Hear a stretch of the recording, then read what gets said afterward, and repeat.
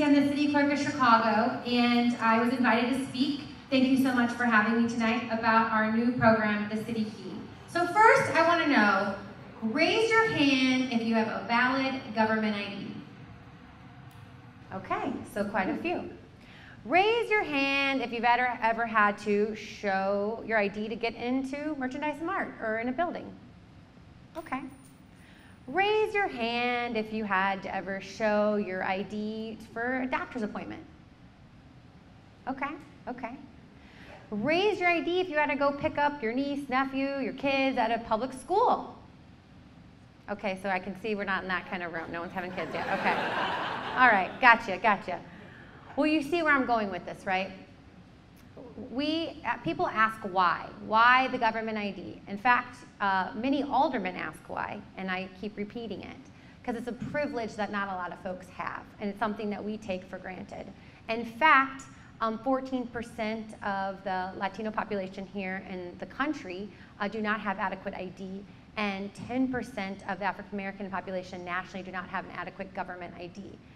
And this is the why. And I think as government, we have to ask ourselves the why and what is our intention. And so this idea actually came from community groups. If you ask them, they've been talking about this for 10 years.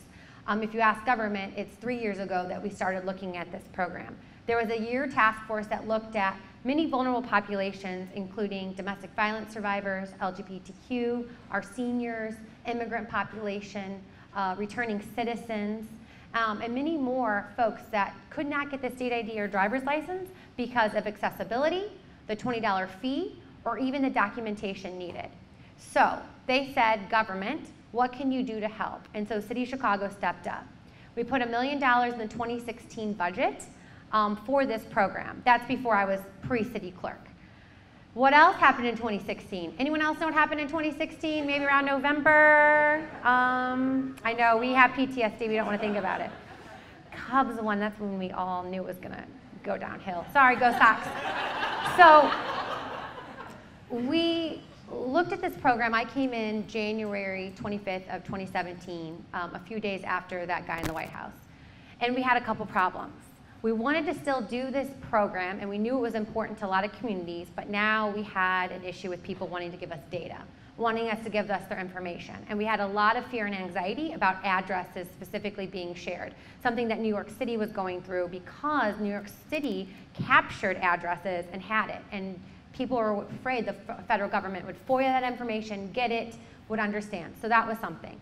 This data right here is actually data that we've collected through the partnership with University of Chicago. Why is it important to collect data? You all know, right?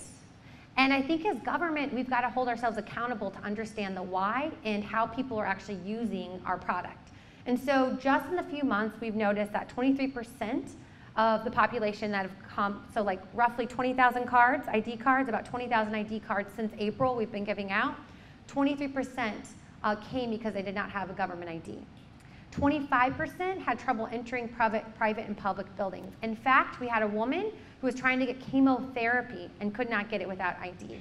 We had another woman who was trying to pick up her child's report card and could not get into the school without an ID.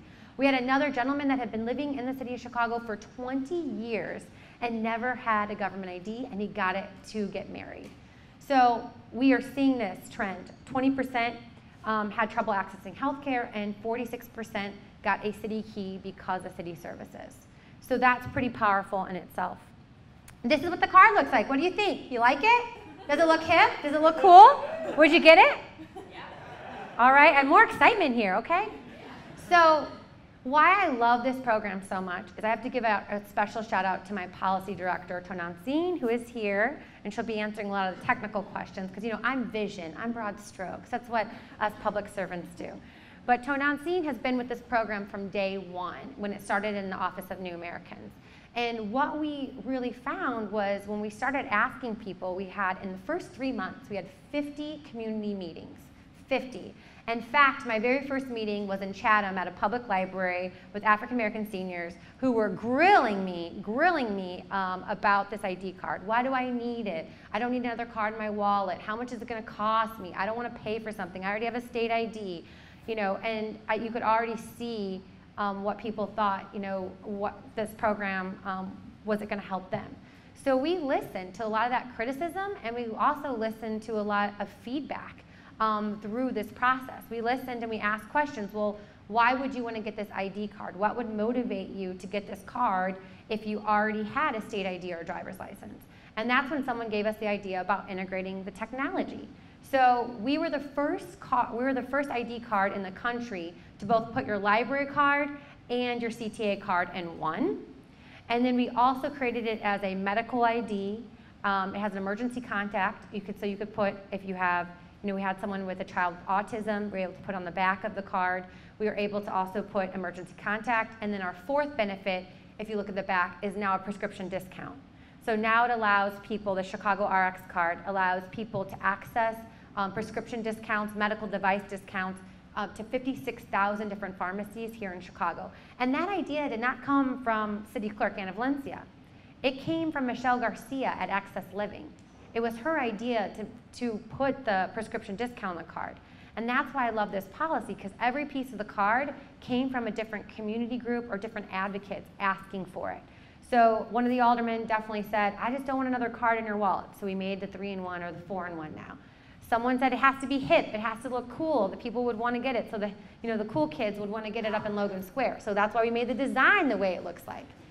Um, sorry if you're from Logan Square, I had to throw it out there. And then some folks said, I want it for my kid because we see actually a large population of homeless youth, even under the age of 14. And so we made it for 0 to 120, or however old Secretary White is. So we made sure that it was for everyone, that it was inclusive, it was accessible.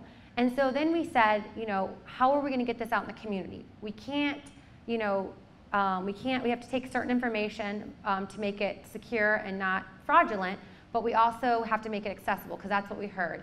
You know, either the fee or was it hard to get to. So we made it free for the first um, 100,000 cardholders to generate some excitement. And we also made it mobile. So we actually go to libraries. We've actually gone to one church. We go to um, park district centers, senior centers, community nonprofits that host us, where people can build trust they don't want to come down to government and downtown and have to pay for parking or have to get transportation or childcare. So we bring it to them. We also are trying to modernize government, so just not offering hours nine to five, but we offer Saturday hours and evening hours as well. Just ask my staff because are my team because they will vouch for that. And we have seen so much excitement. The very first day, we had 500 people line up at Kennedy King College in Englewood, and we were actually had to close the doors in the first two hours. So we thought we would have a hard time reaching populations. It turned out to be completely opposite because we made a card that people wanted. We made a card for Chicagoans by Chicagoans. And they're on the phone with their grandmas and their sisters and say, hey, come, come get your ID card. So the excitement um, we have seen worked because when you make grassroots policy with the community instead of talking at the community or not listening to the community or pretending you're listening, um, you get bad policy. But when we brought them into the process to the point where they were actually sitting down with our pro bono attorneys at Kirkland and Ellis, deciding which documents could be which points to get the ID card and which documents could be as accessible that people had. Our document guide is like four pages long that allows people to use a point system to get the ID. So these are some of the partners, and not a whole complete list, but you can see these are some of the partners that were at the table with us that were telling us, hey, my client um, has a hard time getting their birth certificate. Or my client, you know, what about an expired state ID? Um, they can't get a driver's license with expired state ID, but we could take it. Um, and so we have seen so many documents. Or if you're homeless, can a nonprofit sponsor you with the letterhead that gives you a point to show residency until you can get back on your feet? And so with these community partners, and this is not the whole list, but a good example, we were able to create a really exciting card that's not, not only very exciting with the technology that we used, um, but also just helping people. And that's what we're supposed to do in government, right? Is help people. And so that's what our team has done, um, and super proud of it. Some of the other benefits that we added. So not only did we integrate the technologies, not only is it a prescription discount card, an emergency contact, and you can put intent to donate your organs, and a veteran's designation, and the first municipal ID card in the state To self-identify your gender, meaning uh, female, male, non-binary, or leaving it blank. In fact, we had a 15-year-old come into our office without a parent and choose their own gender. Um, and, and I love that because it gives that person that identity that they choose to say who they are. And so we decided, though, when we were asking various people, why would you get the ID card? How could um, you support that program, not only being a good neighbor, but we didn't want this ID card to be a stigma card. We didn't want it only to be for homeless or for domestic violence survivors or undocumented community. We wanted it to be for everyone, so everyone could blend in. So there was no indicator or immigration status, housing status, criminal status, whatever. I had it, the mayor had it. It was going to be for everyone. So we added some benefits and discounts. Why not? You pay taxes. I hope everyone pays taxes. Um, why not get some kind of benefit for living in Chicago and being a Chicago resident? So the Field Museum kicked in a free day. So if you bring your ID card, you get a free day at the Field Museum. And we're working with other cultural partners. The Chicago Fire is getting given a discount. Chicago Sky, the Red Stars. We've got um, different restaurants and boutiques and different places throughout the city. And if you haven't been, but in um, Avondale there's a Brew Brew Coffee, and that's a great place. The Back of the Yards Coffee Shop is awesome as well. There's many different places that we are trying now to get Chicagoans to unlock what everything Chicago has to offer with the city key. You get it? City key, unlock, okay? All right, you're with me. So unlock everything. We want Chicagoans to explore other neighborhoods. We want to see what's out there. And we want people in every zip code to know that the downtown area is accessible to them by the Field Museum. Because if you look at our little, if you look at our museums, which hopefully I can shame them into joining, you know, the percentage of the numbers, if you look at the zip codes, it's not always um, representative of the, of the communities that we serve. And so we want them to have access to all that Chicago has to offer. And we want people to get out of their comfort zone and support other local businesses. So this is, we have, I think, up to over 40 partners, and it's expanding, and hopefully have some more, like the, uh, the Goodman Theater, the Joffrey Ballet, 10% off tickets to the Joffrey Ballet. Swan Lake's coming. Go. So this is a little bit of our partnerships, but this was another great way to get people to sign up for CityKey, and we're always expanding. So we hope that next year we'll have more partners um, maybe some more uh, technology advances and, um, and, and, streamlining some of our services. Um, but this is just kind of a list. So now we're going to open up to questions. And uh, Tom is right. Why'd you look behind you? This is Tom. He's like, wait, who? No, you. So Tom is, was formerly with DoIT, the Department of Technology, and Tonantzin is our policy director. And we're happy to answer some questions about kind of the partnerships or the key or any of the policy program that you have. Hi, okay, um, so I don't know if you were planning to get to this, but I'm of course very interested in the data and the structure of how you're saving anything, everything. I was aware of sort of the issues with New York ID, um, and it was something you were worried about after 2016, so I'm curious to see how you're sort of anonymizing data and protecting the data of users. Um, I know you touched on it a little bit in terms of probably not um, taking addresses, et cetera, but would love to hear a little bit more. Sure, so I'm gonna let one of them speak, but just kind of the one uh, key that we had in our state law was exactly what a record meant that the city would have to keep. And so that allowed us to not have to keep the addresses to consider that a record. So when you go, who has their city key in here? All right, support of the program. Everyone else get their city key, please. We should have brought a printer. But um, when you go to our mobile sites, you'll see that actually we give applications back. So we don't keep any physical applications. We are able to give that back. But I'll let Tonantzin kind of talk about that and Tom talk about the data piece. Tom? Okay. So that's a very good question. The data that was going to be collected or potentially could be collected in a program like this is very, very sensitive. And, and we know from the lessons out of New York City, New Haven, Connecticut, which had the first municipal ID program in, in the country, uh, but had their records uh, subsequently subpoenaed by the Department of Homeland Security. So we created a new technology. We created a new approach to this. Uh, Clerk already mentioned that the application, the application goes right back to the individual. On the database side, on the card side, no information is kept. We created a new way to be able to make this card interoperable with these other systems but the fact that I hold a municipal ID in my pocket, there's no record of that holding a municipal ID. To the systems using the municipal ID, such as CTA, such as a library card, they appear as a card that already exists in their systems, as any other card would, whether it's the green library card or the municipal ID. So we created this sort of decentralized, interoperable way of being able to do that, specifically to be able to protect privacy, offer privacy uh, for those who have that card so, so they can know and hold on to it confidently. Yeah, and I would just add that our approach, as the clerk kind of mentioned, was that we were a major city that was going to do this after new administration came. So there was kind of like a change in the dynamic with the community organizations that we originally worked with. It went from, yes, we need a municipal ID to, I'm not sure this is safe. And so one of the first things that we ended up doing was uh, making sure that we actually brought those same community groups to the table. So a lot of immigrant rights organizations, ACLU of Illinois, um, other organizations that were concerned with data privacy, security issues, met with them constantly, actually, it was kind of interesting. I had to do a lot of research on this because this was the first time that I'd ever really experienced an issue uh, at this level at this point in time. Um, and I ended up finding a really neat memo from Forest Gregg that actually informed a lot of the work that we were doing. And it kind of set this like tone for, okay, we're gonna do this program, but we need to do it right. So obviously we're gonna bring these community groups to the table. Um, one of the things that we did as part of the policy development was okay, we're gonna do an ordinance, we gotta establish this program. How can we build trust with you during this time when there is a lot of distrust with government? And one of the things that the community organizations asked for was to explicitly put in our ordinance that we would not retain addresses or telephone numbers.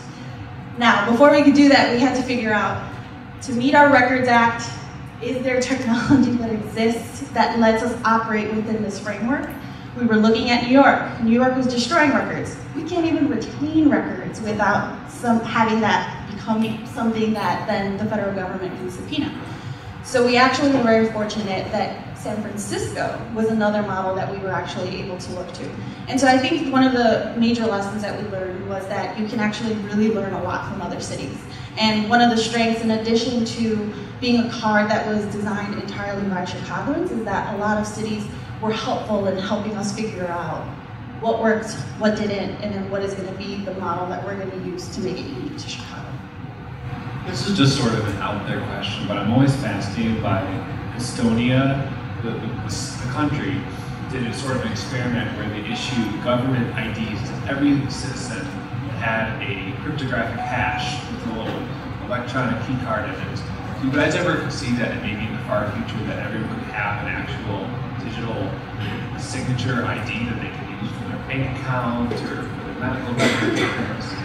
Um, Is that possible down the road? Yeah, absolutely. It, you're going to be want to be cautious about doing that. It was in fact about this time when the uh, municipal ID card was coming together that uh, a flaw was discovered in the hash uh, right about that time. And Estonia very known for using e-government to the extreme, online voting only, and, and that, that digital hash was everything.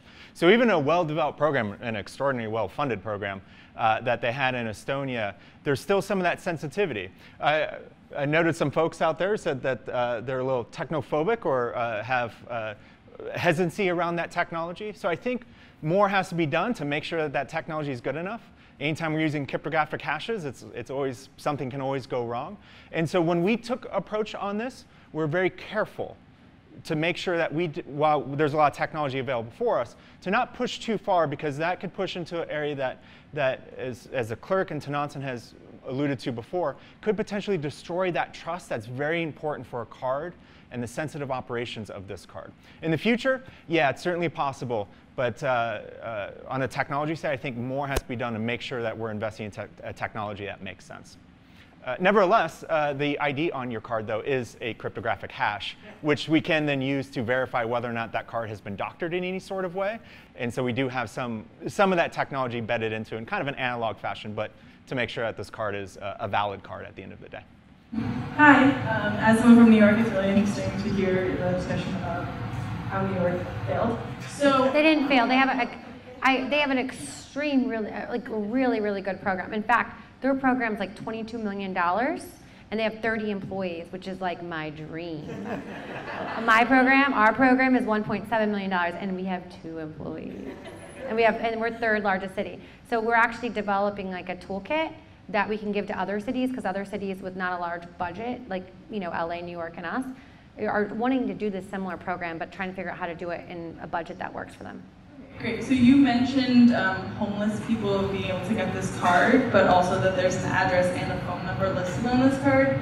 So what types of documents do you require to ensure that this is a real person when you, you people who don't have those types of permanent identifiers? I'll let also Tonantzin speak on this too, but the biggest thing when we were talking to Night Ministry and other um, homeless advocates was that we had to make sure there were documents that were easy to get because the nonprofits and their caseworkers can help them but what nonprofits are running into especially with the budget crisis in illinois is their budgets have been cut for helping people to get ids so it was extremely expensive and staff time consuming to go get the birth certificate to get the social security card and all the documents for a state id so what we try to do is figure out ways that what documents are easy for people to get is it a medical record is it a case management letter?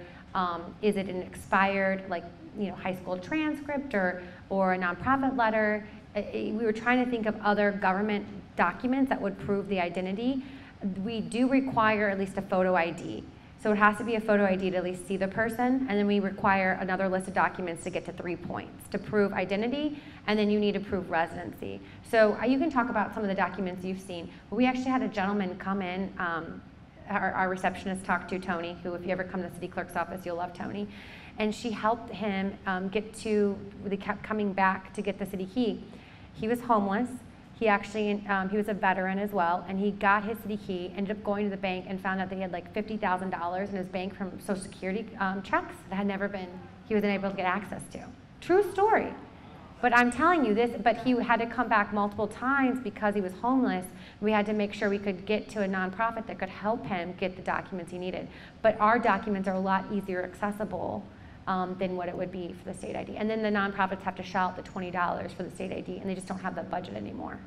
Yeah, and, and I would add that we, we learned that a lot from the community organizations by setting up very like specific um, in addition to the roundtables, it was kind of like a, just for like certain populations we were trying to serve. So we brought in a bunch of nonprofits one day and did like a roundtable just on homeless and housing issues, another one on immigration, and all these other populations that we were specifically trying to target and figure out what are the issues that you grapple with most, what are the barriers, and so one of the things that we ended up adding was also kind of like an affidavit where somebody, like a nonprofit, for example, can sign off because if they've been serving someone for many years, they can vouch for the person essentially. Um, but one of the things that we found that really truly helps is that we have a point system that, you know, maybe you have a document that counts as three points, but uh, someone else doesn't have that three point document, but they'll have three one point documents. And so they're able to kind of collect until they're able to meet the point system. And I think that, in addition to like having organizations closely at the table who are like, one, we know about the city key, two, we helped you develop this, and three, we're trying to figure out how to help this person collect the documents. We've actually been able to expand our existing list. So one of the things that we purposely did from a policy perspective was we didn't put the details of the specific documents that would count towards our point system into our ordinance. Because if we had done that, we would have to go back to city council every time we wanted to add a document. And we wanted to make sure that this program was incredibly dynamic, that it changed as we learned more from the community organizations and the experiences um, that we were encountering. And so it's been great that we put those the, the, list of documents into our administrative rules. And so we've been able to either add or amend um, as we go. Awesome. I believe that is all the time that we have. Oh, you're good.